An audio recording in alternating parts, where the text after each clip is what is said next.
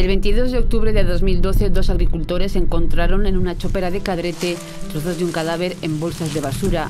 La Policía Nacional de Zaragoza detuvo a Antonio Losilla. Su mujer, Pilar Cebrián, había desaparecido en abril de ese mismo año y nada se sabía de ella desde entonces. Parecía un caso cerrado porque él confesó haberla descuartizado. Las pruebas de ADN revelaron, sin embargo, que esos restos pertenecían a otra mujer, la historia dio un giro de 180 grados.